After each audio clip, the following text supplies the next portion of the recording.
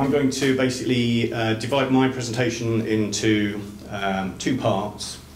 And for the first part, I just want to do a bit of um, background on the flood risk, uh, flood risks in Hammersmith and Fulham, and then talk a bit about the uh, lead local flood authority approach on the requirements that we put out there for getting SUDs into major schemes.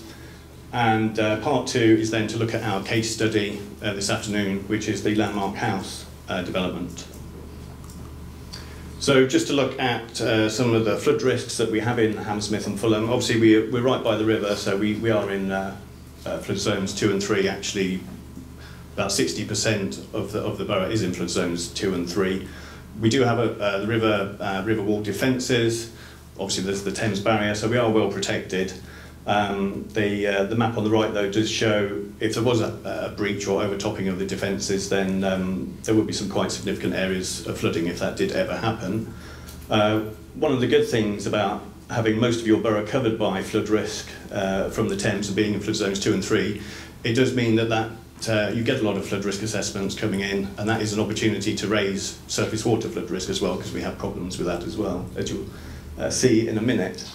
Um, groundwater, though, that's also a risk. Uh, we have a lot of basement uh, development, so uh, groundwater needs to be assessed uh, for those. Um, sewer flooding is also a problem. Um, these are the, the number of uh, uh, incidents. This is uh, Thames Water data. Um, we're actually updating at the moment, so we've probably got over 2,000 um, of these incidents now. And again, it's across the whole borough, really, although most of the problem is in the south of the borough, but it is pretty much a borough-wide problem. Um, this is emphasised by, the, again, Thames Water and their uh, sewer capacity study that they carried out. Uh, Hammersmith and Fulham is on this side. So we're completely red. So red means that um, for this storm event, which I think is a one in two year storm event, the whole of the uh, sewer system in Hammersmith and Fulham is basically at capacity or it's over capacity. Um, that's for 2050, but actually I think if you looked at the 2020 uh, output from Thames Water model, it's very similar. So we have some extreme problems in terms of sewer, capacity.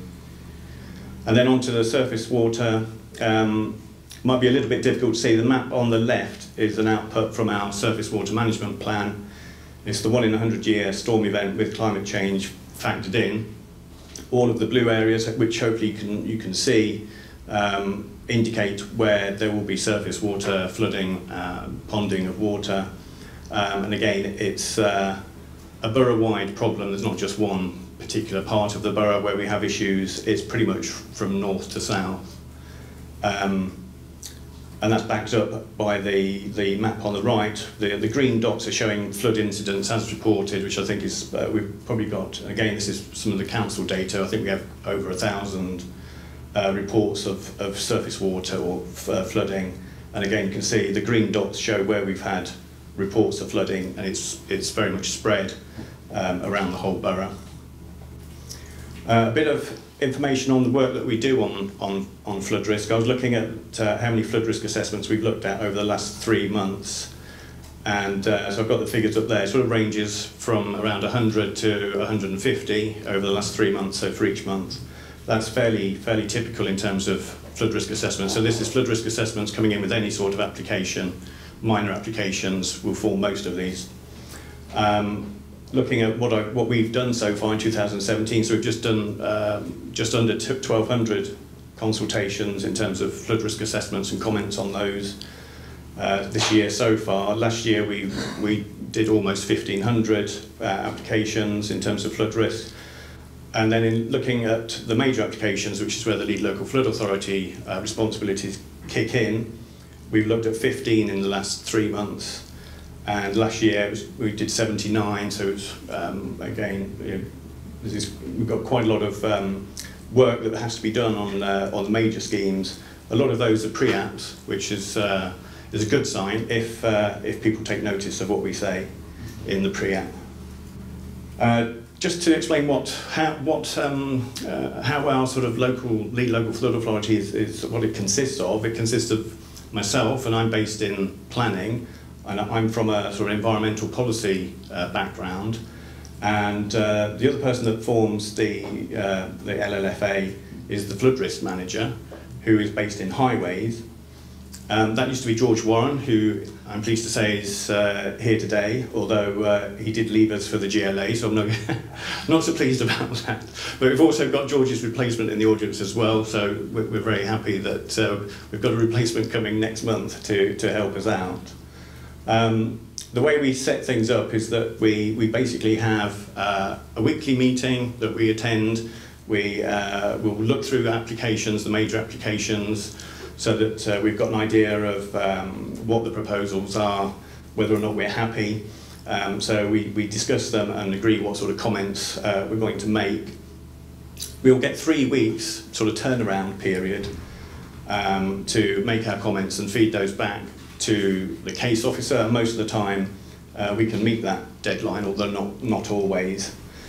Um, final bullet point in terms of this, our most frequent response is uh, to actually raise an objection um, and to say that we need further information and we provide a detailed uh, response in terms of saying why we don't, uh, if, if it is a, a, a certain strategy that, that we don't like, why we don't like it and um, what sort of information we need we don't set out to object all the time to such strategies. It's just that we find that they don't, they don't, the, the strategies that we look at very rarely actually meet the objectives or meet the policies. So we, we, we're sort of left with no, no other choice really but, but to raise an objection.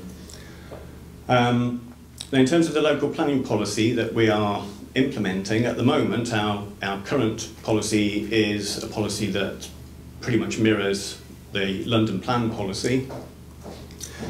We do have a new local plan policy that is, uh, has been under development for several years and is due to be adopted in January next year. And I put a bit of wording on there. It does try and focus more on uh, achieving greenfield runoff rates now and maximising attenuation. It also is um, going to stress more on the above ground use of SUDS.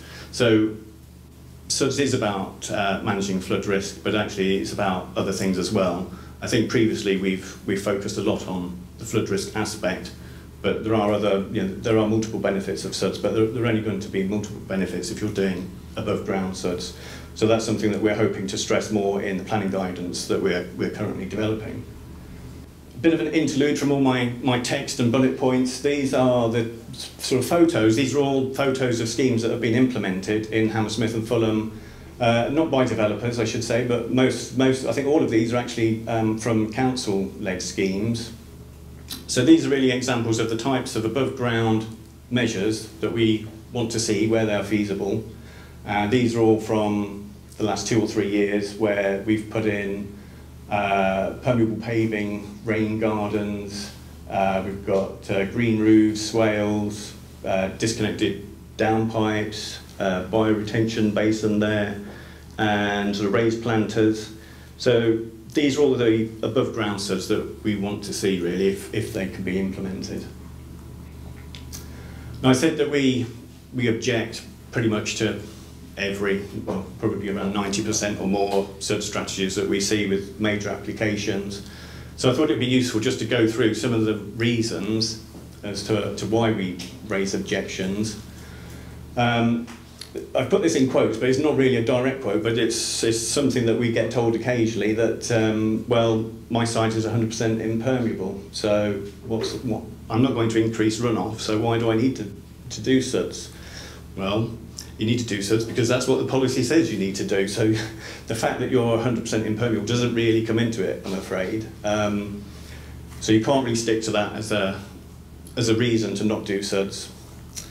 Um, very often we don't see, obviously we're a London borough, so one of our key, our key parts of our development plan is the London plan. The London plan has a drainage hierarchy. That's the drainage hierarchy that we want to see followed uh, for the SUD strategies. I know there are other drainage hierarchies out there, building regulations and other guidance and so on, but London Plan is the one that we follow, so that's the one we want you to uh, quote if you're, if you're designing SUDS. Rainwater harvesting not considered, this is top of the hierarchy in the London Plan, so it has to be considered so far as we're concerned because it's, it's the top priority, so it must be assessed. we would accept that it's not necessarily going to be feasible on every site, but we did find that once we started to stress this to developers that we did start to see rainwater harvesting being integrated. So you know, that approach has worked for us. Too much emphasis on storage tanks and um, again, if your strategy is uh, all focused on draining the water into a storage tank underground for slow release into the sewer, that is not going to comply with the SUDS policy or the SUDS hierarchy um, drainage hierarchy from our point of view. You've got to assess all of the other measures, and, and if you don't, again, we will object. Um, I recently saw a, it was a flood risk assessment, about 100 pages. Um, there's about a page on SUDS, and at the bottom, the bottom of that page, it said that without discussing any other types of potential measures, that the approach for SUDS was to put all of the surface water into a tank for release into the sewer we're not going to accept that as, a, as an approach. Infiltration, we want to try and promote infiltration where possible. It's not necessarily going to be uh, feasible everywhere in the borough, we accept that, but we want it to be uh, looked at. We have seen it used on some sites. Um, what we don't like is the use of the building regulations five metre rule about trying to keep uh, five metres between buildings and soakaways being used to try and say that therefore no infiltration is possible at all. It's sort of a, a, a misuse really of, of, uh, of the regulations. So we're not happy if we see that in any SUD strategy. Attenuation levels too low, 50% I've said is not a design target, the 50% is a, a sort of backstop really that um, comes from London Plan guidance policy actually requires you to be maximising attenuation if you're designing a SUD scheme for a major, major site. Um, setting out to meet 50% when actually it's possible to do more than that, again, is likely to attract our attention and we're likely to object and push for more. Uh, similarly, the greenfield runoff rates and achieving those, um, very often we get higher, higher than greenfield runoff rates being proposed and also we have an issue with um, the five litres per second uh, rule, if it is a rule. Uh, we, we consider that for our own schemes, we've actually gone uh, well below five litres per second for final discharges, so therefore that's something that we expect to see on other people's uh, schemes. We don't want to see an assessment that tells us what the greenfield runoff rate is, but then jacks it back up to five litres per second because that's that's the minimum according to Environment Agency study or not, not you know, uh, preventing blockages and that kind of thing.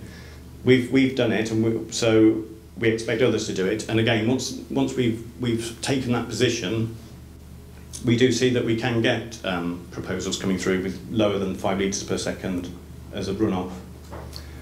Um, benefits as above ground SUDS not considered. I did mention, obviously, SUDS, I think, and again, we were probably guilty in when we first started to press for SUDS in schemes, we were very focused on flood risk being the key reason for why we wanted SUDS to be implemented. And in the early days, that probably did lead to a lot of proposals which were tanks underground with controlled discharge into the sewer. That will deal with uh, the flood risk issue, but it is not providing any other benefit at all. And we have lots of policies that, that also require water quality benefits, uh, water efficiency benefits, biodiversity benefits, um, to be pro uh, provided by development, and their SUD scheme is one way of doing that. Last bullet point on this slide, I think, uh, oh no, it might not be actually. Um, designing, so just, just to say, designing for the one in a hundred year storm, obviously that is there as the uh, sort of extreme storm event that um, SUDS proposal should be able to cope with, but there are many other storm events that are going to happen much more frequently than that, that the SUD scheme also needs to be dealing with. Um, so don't get too focused on one in a hundred year storm. On to some positive advice on how to get SUD strategies approved. Um, I mentioned that a lot of the applications that we look at are pre-apps, and so we certainly um, recommend that major developments come through the pre-app service so that we can give advice and um, point people in the right direction in terms of uh, what our policy requires, what sort of things we expect to see in strategies.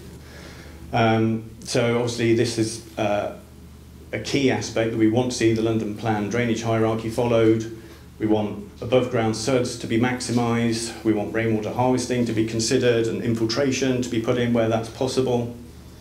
Um, we do accept that it may be necessary for underground tanks to be part of that SUD strategy, but the idea is to try and minimise the amount of water that's going into the tanks. Also minimise final discharge to the greenfield rates. As I said, we've done that on our sites, so we expect it um, on other sites. Maximise attenuation, so as I said, don't go for the 50% minimum. We know you can do more. Um, so you've got to try and show that you've, you've actually maximised attenuation, so you could get to above 90% attenuation. If you can do that, then 50% isn't going to, isn't going to work for us. And we also need maintenance information. We need to know what the maintenance uh, arrangements are going to be for all of the SUDS measures that are going on site. And we want to see some plans about where all the SUDS measures are, are going to go. Um, so ideally, what we want is as much detail up front with the application. And then what we'd like to do is to then condition the implementation of the scheme um, that has been proposed um, as far as, or get as far as possible as we can on that. So what we want uh, sort of applicants and the consultants to do is to, to look at our policies and guidance and then show how their scheme is complying um, with our requirements and if necessary then you know, talk to us about uh, what our preferences are or if there's any difficulties on the site, how that can be overcome.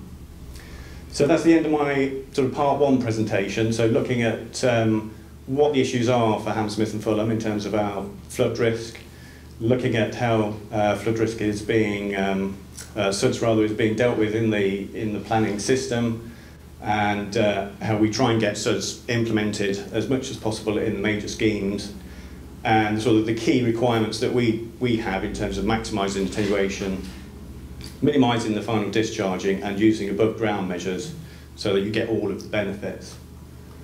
So on to um, part two. So I'm going to look at the uh, Landmark House application. So this is what is on site at the minute. Um, it's uh, a sort of 1970s built office block. Um, there's not much um, use actually happening on the site. I don't think there's quite a lot of uh, sort of vacant floor space. It's generally not considered to be sort of fit for purpose anymore.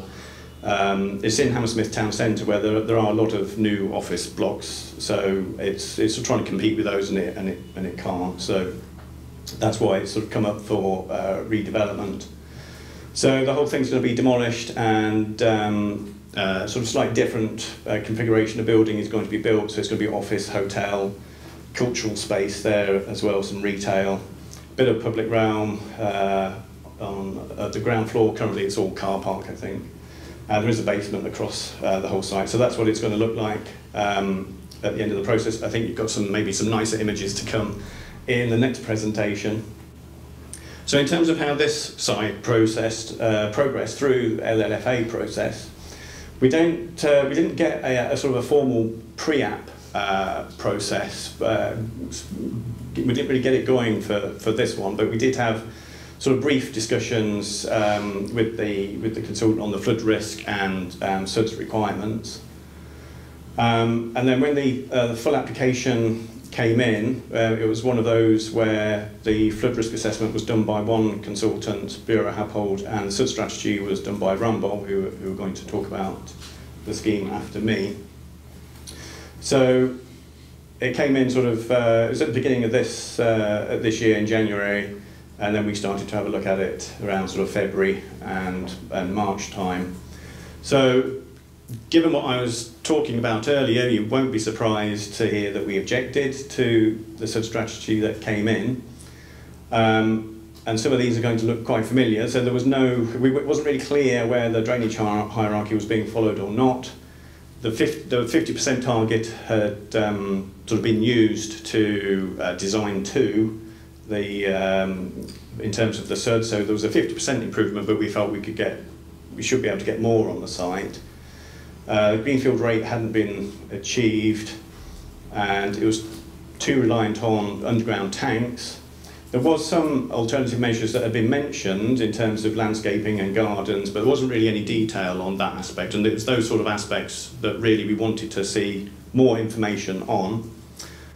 And also we noted that Thames Water raised concerns, um, so they would will frequently uh, flag up problems for new development in Hammersmith and Fulham because of the lack of sewer capacity. So you know, that also puts uh, the pressure back on in terms of trying to do more with the with the SUDS proposals. So it was missing the target from uh, from our from our perspective.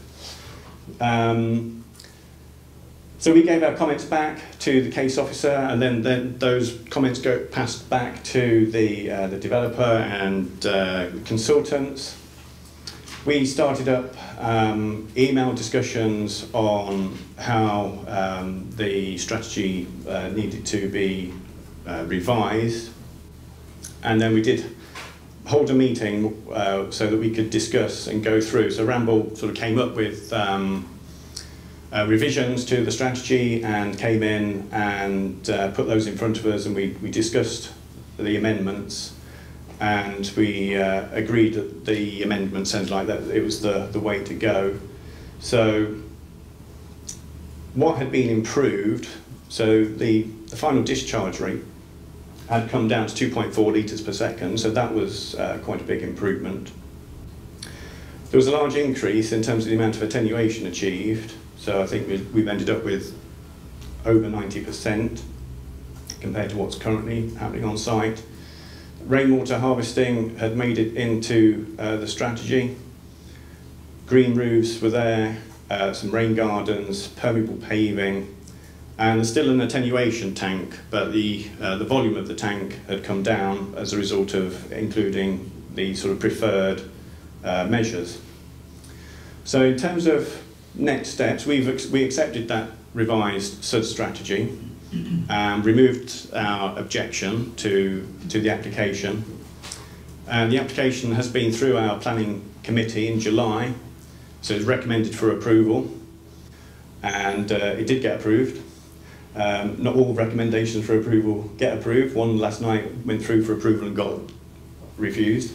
Um, so it's got some SUDS conditions on there. So we still want to see um, a revised SUD strategy prior to commencement to confirm the inclusion of the measures that have been highlighted, just so we get more more detail on um, on what's going to be included.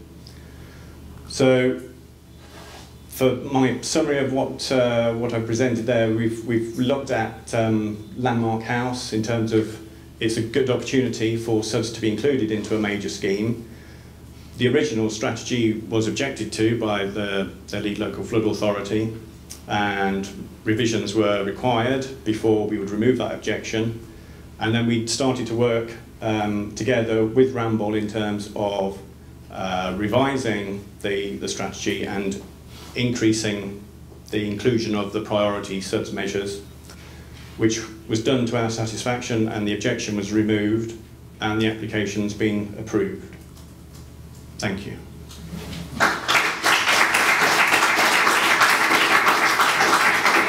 A quick question. You, you kind of inferred that you get consulted on major apps. Obviously, you're trying to progress towards you can either approve an application or condition it. I wanted to go next stage and look at discharge of conditions. Do you get consulted on those? Uh, yes, yes, we do. Okay, secondary question then. How often do you have to object to discharge of conditions because the system as designed at planning application stage is very different to the system being proposed for construction? Uh, yes, it does happen. I mean, we it's by no means do we um, see perfect applications to discharge conditions. So it's only yes, you're right. It's only part of the story to sort of get through the application because then you've got the conditions. And so we have had applications where we have, we've had probably two or three iterations of um, more, you know, details to, to get to the point where we're happy. Uh, and it, it, it does happen that um, an application gets approved with a strategy written by one consultant. They're then taken off the job, and another consultant comes in, and then they start to almost go try and go back to square one. And we have to go back to square one and say, well, hold on. Um, we, uh, we've got the FRA, we've got the SUD strategy. This is what you're supposed to be doing. You can't go back and start rewriting it now. So you do have to keep an eye on on what's happening with uh, discharging conditions, definitely. Just wanted to ask 90%, you were talking about the attenuation there, how that was achieved? Was it sort of well, it's a, it's a combination of all the measures that um, that I was, I was listing. So it's um, it, some of it is from above ground um, above ground uh, proposals and SUDS measures. Uh, there is a still there is still an attenuation tank as part of the um, the actual SUDS strategy, but so some of it will be will be coming from an attenuation tank, but there are others. Is Catherine presenting on that revised strategy? Yes. Yes. Okay. Yeah. Take one, take one more before we move on to Catherine. Uh, it's just a quick one on the five litres a second and that, that query. Obviously, I understand where you're coming from, that you can reduce it beyond that level, and it's completely laudable. Completely, I agree why, why you're doing it. From a consultant's perspective, we have the general advice from the EA that's five litres a second. I've spoken to a lot of the flow control device manufacturers they go lower than that, but they have no long-term testing and maintenance and blockage systems. You've done it yourselves, but that's at your own liability as a consultant. It will be on our liability if that then blocked. So how have you had reaction from consultants about going beyond that figure? Um, well, we're getting agreement. Um, the, the Landmark House scheme, they've, they've proposed to go below five. Um, over time, because we've, we've been stressing that it is possible to go below five litres per second, I think we're starting to see acceptance from consultants who are, who are putting together SUD strategies that, that that is it's acceptable to do that. I think generally the feeling is that that EA guidance is out of date and there will be some more guidance coming through quite soon which actually shows that there isn't a need to limit the final discharge to five litres per second. So we're, we're in a bit of an area at the moment where that might be the existing guidance, but I think people know that actually that, that limitation um, is not really relevant at this stage. So if we see if we see discharges being proposed for five litres per second as the limit, then we will certainly push against that. Do you know where that new guidance is coming from, quickly? Um, I know Thames Water are hoping to do some guidance on it because obviously it's a relevant uh, it's a relevant issue for them. So hopefully they will they will do something on that.